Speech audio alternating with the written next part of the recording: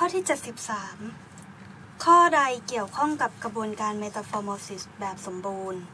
การเปลี่ยนแปลงรูปร่างลักษณะ การเปลี่ยนแปลงพฤติกรรมและการดำรงชีวิต การดำรงขนาดการเพิ่มขนาด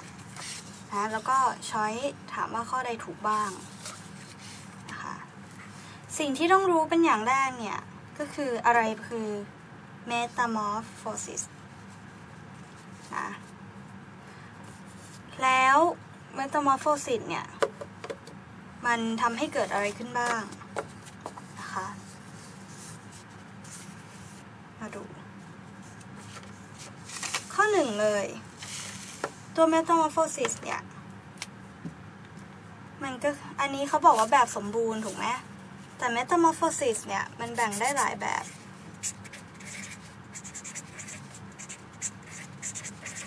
metamorphosis เป็นการเปลี่ยนแปลงของรูปร่างลักษณะนะคะ แล้วก็ทำให้เกิดการเติบโต การเปลี่ยนแปลง แต่ว่าบางส่วนเนี่ยก็ไม่เปลี่ยนเหมือนกัน ขึ้นอยู่กับว่าเป็น metamorphosis แบบไหน metamorphosis เนี่ยพบมากนะคะ ในแมลงส่วนใหญ่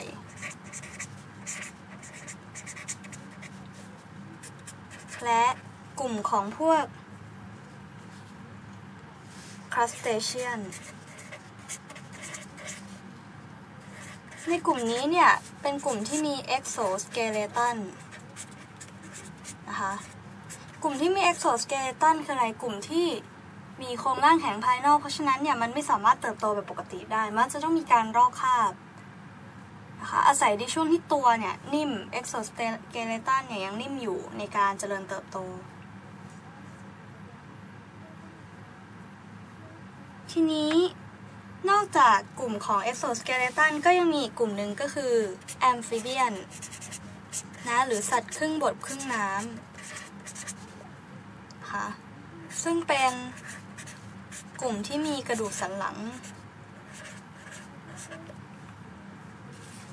metamorphosis ก็แบ่งออกเป็น 4 อย่างใหญ่ๆ อย่างแรก เป็นอะ metamorphosis คือไม่มีการเปลี่ยนแปลงใดๆ นะคะ 2. gradual เดี๋ยวอธิบายทีบอกให้รู้ก่อนว่ามีกี่แบบนะ metamorph phosis 3. incomplete metamorphosis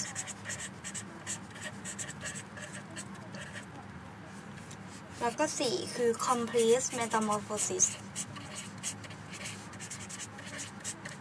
ซึ่งอันที่ 4 เนี่ยแหละที่โจทย์ถามนะคะมาดูทีละอัน ตัวของ metamorphosis เนี่ย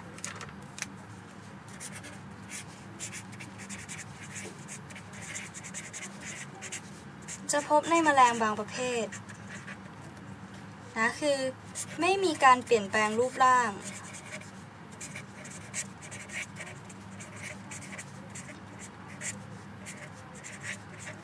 หมายความว่ายังไงหมายความว่าตัวเนี่ยมันจะขยายขนาดใหญ่ขึ้น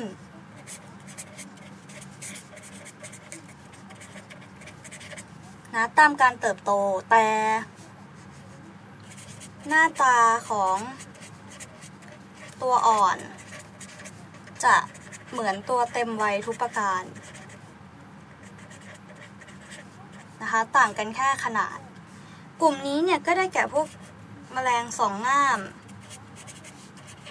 สามง่ามแมลงหางดีดพวกนี้เนี่ยพอออกจากไข่มานะคะ ก็จะผ่านช่วงเจริญเติบโต โดยที่ออกมาเป็นหน้าตาเหมือนตัวเต็มวัยเลย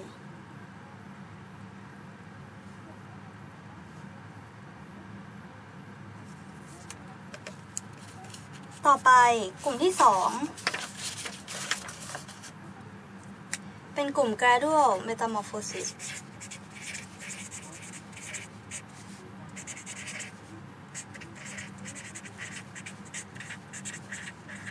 ตัวนี้เนี่ยคือเป็นแค่บางส่วนนะคะ สิ่งที่สำคัญคือตัวอ่อนเนี่ยจะเรียกว่านิ้ม หน้าตาคล้ายนะคะ คล้ายแต่ไม่เหมือนทีเดียว ตัวเต็มวัย เดี๋ยวพอยกตัวอย่างแล้วเดี๋ยวน้องจะนึกออก กลุ่มนี้เนี่ยนิ้มจะอยู่บนบก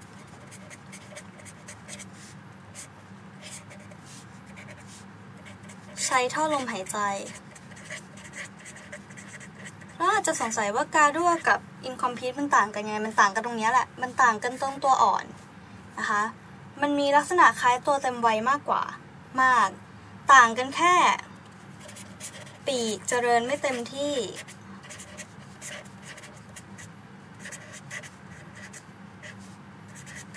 นะคะ กลุ่มนี้ก็ได้แก่พวกตั๊กะแตน แมลงสาบ จิ้งหรีด จักรจั่นปลวก พวกนี้เนี่ยอย่างแมงสาบเนี่ยตอนที่มันตัวเล็ก มันจะมีหน้าตาแบบนี้คือแทบไม่ค่อยเห็นปีกถูกไหมปีกมันจะบางๆเล็กๆนิดเดียว แต่พอเป็นตัวเต็มวัยเนี่ย มันก็จะมีหน้าตาแบบนี้ ก็คือปีกมีการพัฒนามากขึ้นนะคะ วงจรของมันเนี่ยก็จะเป็นเอกนิ้มนะแล้วก็เป็น adult โดยที่น้องต้องเน้นไว้ว่านิ้มเนี่ยอยู่บนบก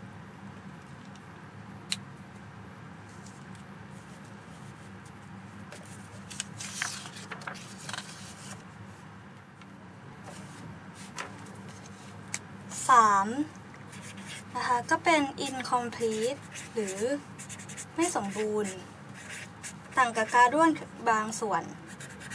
การด้วนเนี่ยเป็นบางส่วน แต่ incomplete ไม่สมบูรณ์คือเกือบจะเท่ากับสมบูรณ์ ก็น่าจะเป็นขั้นกว่าของบางส่วนถูกไหมอ่า metamorphosis ใน incomplete metamorphosis เนี่ย จะมีการเปลี่ยนแปลงนะคะของ การดำรงชีวิตในขณะที่เป็นตัวอ่อนและตัวเต็มวัยด้วย ตัวอ่อนเนี่ยเรียกว่าไนแอดในแอดตัวนี้เนี่ยจะไม่คล้าย คือดูออกเลยว่า มันหน้าตาไม่เหมือนกับตัวเต็มวัย ไม่คล้ายตัวเต็มวัยนะ เวลาอาศัยเนี่ยจะอยู่ในน้ำ ใช้เหงือกหายใจ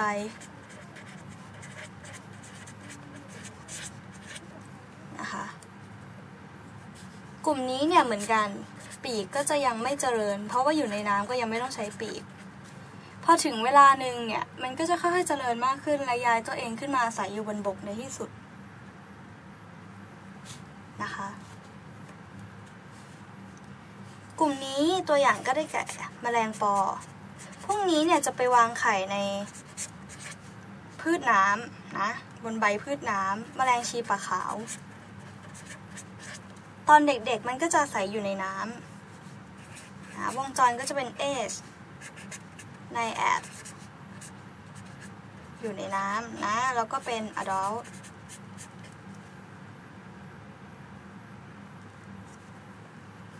ต่อไป อันที่ 4 คือ complete metamorphosis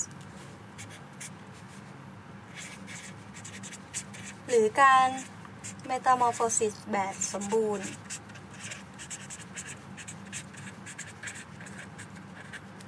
อันนี้เนี่ยมีคีย์เวิร์ดสำคัญเลยคือคำว่า ดักแด้นะคะ ก่อนหน้านี้ทั้งหมดเนี่ยจะไม่มีการเข้าดักแด้เด็ดขาด มีแต่การเจริญเติบโตอย่าง incomplete เนี่ย ก็จะแค่อยู่ในน้ำแล้วพอถึงเวลาโตขึ้นก็ค่อยเปลี่ยนขึ้นมาบนบกเองนะ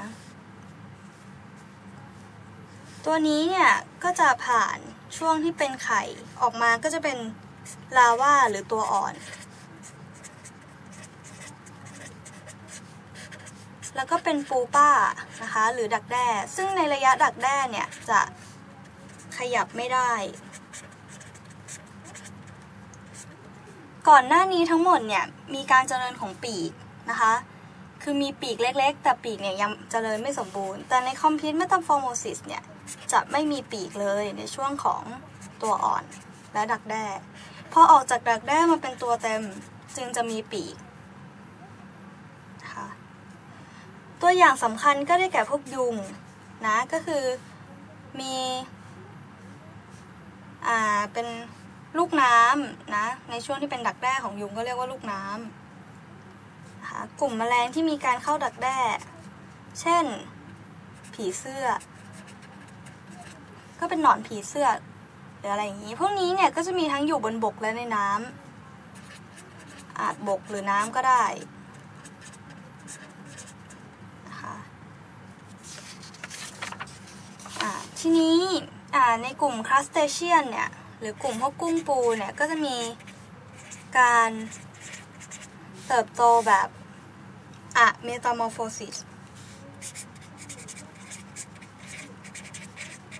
ก็คือตอนเกิดมาหน้าตาเหมือนกับตัวเต็มวัยเลย แต่ว่าลูกกุ้งเนี่ยมันจะตัวเล็กมาก ทุกครั้งที่มีการเติบโตแบบอะเมตามอร์โฟซิสก็คือเกิดการลอกคราบเกิดขึ้น การลอกคราบนี่เป็นยังไง การลอกคราบคือการทำให้ตัวเปลือกหรือ exoskeleton เนี่ย นิ่มลง เอาคราบเก่าออก exoskeleton ใหม่เนี่ย มันจะนิ่ม ดังนั้นในช่วงนั้นเนี่ย ก็จะมีการเจริญเติบโตของร่างกายได้อย่างเต็มที่นะคะ นี่คือขนาด นี่คือเวลา ปกติแล้วเนี่ย ตัวเนื่องจากมี exoskeleton ที่แข็ง ขนาดมันก็จะพอๆเดิมหรือใหญ่กว่าเดิมนิดหนึ่ง พอถึงจุดหนึ่งมีการลอกคราบ ช่วงที่มีการลอกคราบ exoskeleton จะนิ่ม ก็จะโตขึ้นอย่างรวดเร็วเพราะเปลือกแข็งก็จะเข้าสู่วงจรเดิม ลอกคราบอีกก็จะโตขึ้นอย่างรวดเร็ว เปลือกแข็งเข้าสู่วงจรเดิมไปเรื่อยๆนะคะ จนกระทั่งถึงขนาดที่โตเต็มวัยนี่ก็คือ crustacean มาดูเฉลย กลับมาดูโจทย์ ข้อที่ 73 ข้อใดเกี่ยวข้องกับกระบวนการ metamorphosis แบบสมบูรณ์ การเพิ่มขนาดเนี่ย เกิดขึ้นในเกือบทุกชนิด แต่ metamorphosis เนี่ย จะสังเกตเห็นว่าเนื่องจากหน้าตาของทั้งตัวอ่อนและตัวแก่เนี่ย แทบจะไม่เหมือนกันเลยนะ การเพิ่มขนาดเนี่ย อาจจะ controversy หรือว่าบอกได้ไม่ชัดเจน การเปลี่ยนแปลงรูปร่างเนี่ยแน่นอนก็คือมีการเปลี่ยนแปลงจากลาวาไปเป็นดักแด้ นะหรือปูป้าแล้วเป็น adult ถ้าเป็นผีเสื้อก็จะเป็นหนอน เป็นดักแด้ แล้วก็เป็นผีเสื้อ หน้าตาไม่เหมือนกันเลย เปลี่ยนแปลงรูปร่างลักษณะ การเปลี่ยนแปลงพฤติกรรม ในระยะดักแด้เนี่ยไม่สามารถขยับได้ไม่กินอาหารนะอาจจะอยู่ในน้ำแล้วโตขึ้นมาอยู่บนบกก็ได้ ดังนั้นเนี่ยมีการเปลี่ยนแปลงพฤติกรรมและการดำรงชีวิตแน่นอน โดยเฉพาะช่วงดักแด้ก็คือไม่ขยับไม่กินนะคะการเพิ่มขนาดเนี่ย อาจจะเป็นตัวที่ยังตอบไม่ได้ เรามาดู choice กอกับขอถูกแน่นอน คอไม่แน่ใจ แต่ข้อนี้เนี่ยข้อสี่มันมีแค่กอกับขอใช่ไหมดังนั้นเราก็ถือว่าข้อคอควายที่ไม่แน่ใจเนี่ยก็ผิดไปนะข้อนี้ก็ตอบข้อสี่